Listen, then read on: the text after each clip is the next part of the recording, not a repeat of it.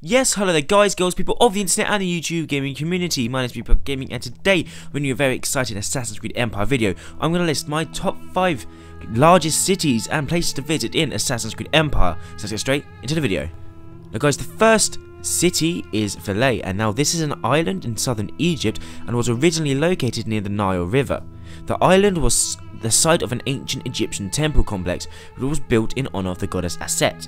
Now in 1340 the assassin Numa al-Hassim and his disciple Ali al-Ghabi were summoned to this island by an assassin elder to discuss the recent theft of the scepter of Aset by the Templars. Now guys, this location looks really cool because it's on a separate island.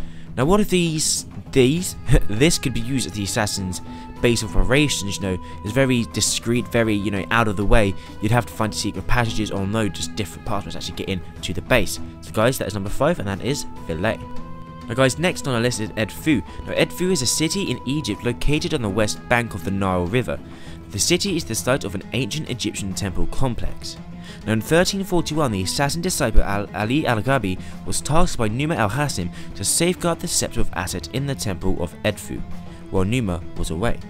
Now, upon his return to the temple complex, Numa was tricked and killed by the Templar agent Layla. Guys, you find out a really, you know, uh, numerous ongoings with Assassin's Creed Egypt and Empire, whereas Piece of Eden that's really prominent is the Scepter of Aset. Now, this uh, Piece of Eden just, you know, controls people and it also uh, boosts morale, that type of stuff. It was very much a piece of Eden that was very much used between like 300 BC to up until now, really. But this location, it looks enormous. It looks gigantic. It personally, to me, feels like it could be where uh, William in Assassin's Creed 3 got his uh, power uh, cube from to actually, you know, show us Juno's memories and that type of stuff.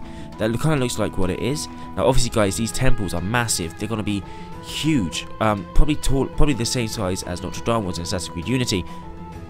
And maybe who, who were they built by? The Egyptians or by the first civilization?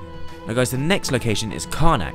Now Karnak is a complex of decayed temples and pylons in Egypt. It is located 2.5 kilometers north of Luxor. Now in 1340, Egyptian Templars fled to Karnak after stealing the scepter of Aset from the reigning Sultan Al-Nasir Muhammad. Next year, the next year, sorry, the Egyptian assassin Numa al-Hassim and his apprentice Ali Ghabi entered, uh, encountered the Templars at the temple complex. Ali then started a fire for distraction so that Numa was able to look for the scepter of Aset unnoticed. However, the distraction not effective, was not effective and Numa became surrounded by Templars.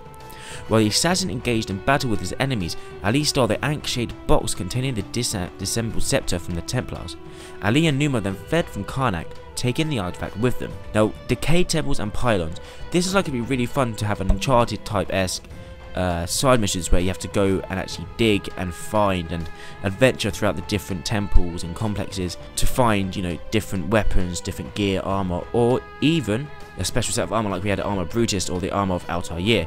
That is very interesting, but it looks very dead, it looks very boring, and I just don't feel like it would be fun enough to actually play a game or have the game based around that. Now guys, the second location is Alexandria. Now Alexandria is the second largest city of Egypt, located along the coast of the Mediterranean Sea. It is named after the Macedonian king Alexander the Great, who founded the city around 3031 BC.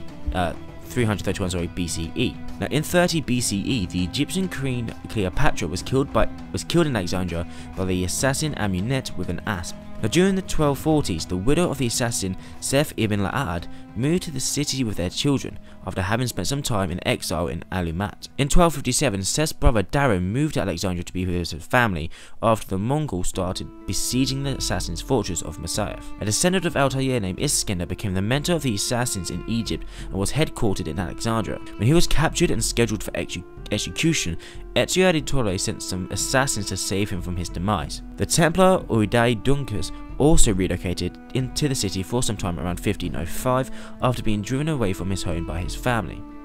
In 1511, during an excavation of the destroyed Library of Alexandria, the Mamluk Sultanate soldiers discovered two memory seals in a chest from 1331 BC.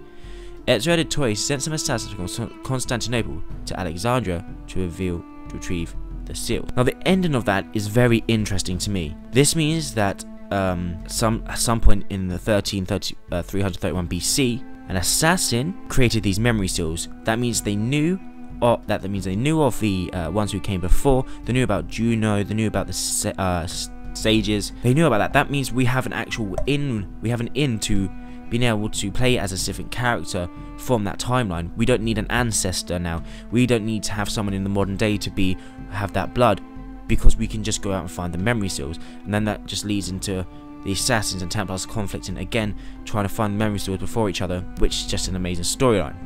Now guys, Alexandria is of course a massive massive city. It would be amazing to find out. It would probably be, I don't know, what, two times bigger than London was in Assassin's Creed Egypt, which I am all for, because then you can have all the city, the bustling, uh, the crime, the the merchandise, the merchandise, the market stalls.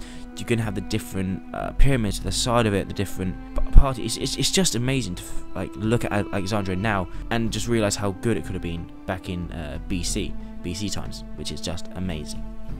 Now guys, the second one is Cairo.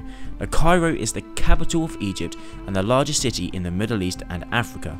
Now Cairo was founded by Jawah al-Khazirki, the Scythian of Fatimid dynasty in the 10th century CE, but the land composing the present-day city was the site of national capitals whose remnants remain visible in parts of Old Cairo. Now Cairo is also associated with ancient Egypt as it is close to the ancient cities of Memphis, Giza, and Fustat, which are near the Great Sphinx and the pyramids of Giza. By the middle of the 13th century, both the Assassin Brotherhood and Knights Templar had presence in the city. In 1340, both the Assassins and Templars were looking for a piece of Eden known as the Scepter of Aset. The assassin Numa al-Hassim was heavily involved in the conflict in the city. Now in August 1794, the assassin Arno Dorian sent an apple of Eden he found in the St. Denis temple to be held by the mentor of the assassins in Cairo. In late 2012, William Miles, the leader of the assassins, travelled to Cairo to obtain a power source for the Grand Temple from the Egyptian Museum and arrived there on the 9th of December. Two days later, William was captured by the Templars Sigma team led by Juhani Otso Berg and brought to Abstergo Industries facility in Rome. Cairo is an amazing city. Present day, it's insane. The amount of culture that's there just expands and grows ever more throughout the rest of the your time that you go there.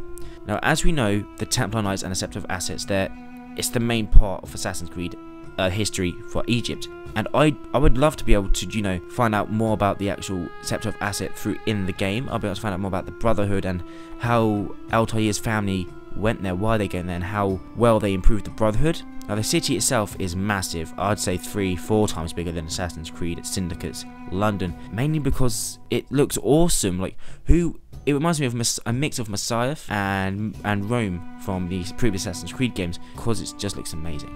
So guys, that's been my top 5 Assassin's Creed Empire locations that we could visit. Hope you guys enjoyed the video, man. Click that like button down below if you have. And guys, comment down below where you want to go in the next Assassin's Creed game. Let me know. And guys, see you next video. Bye for now, and have a great day.